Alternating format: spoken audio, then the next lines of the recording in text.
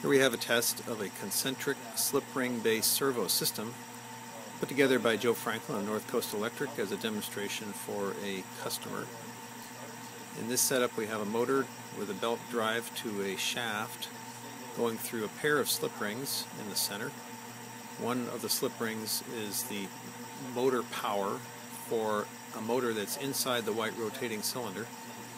And the other slip ring is for the feedback or encoder signals from that same motor.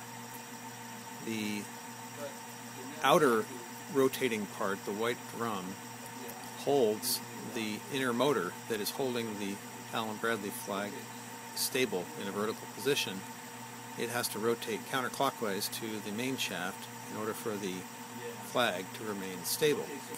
We can cause the flag to rotate independent of the other shaft by pushing a button on the controller and I can cause it to rotate this way uh, and have all kinds of control. So there is a separate motor that is spinning around just as fast as the outer outer drum and it has to adjust its speed accordingly in order to make the relative motion of the Allen Bradley flag occur relative to the overall motion of the rotating shaft.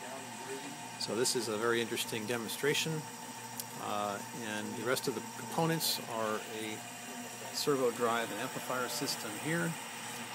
This is a uh, Kinetix 2000 from Allen Bradley and then supervising the entire operation is an Allen Bradley uh, CompactLogix programmable controller. So we're letting this run to uh, kind of proof of concept. Uh, no fault so far in several hours of operation and uh, it's looking pretty good so Joe is going to be very excited.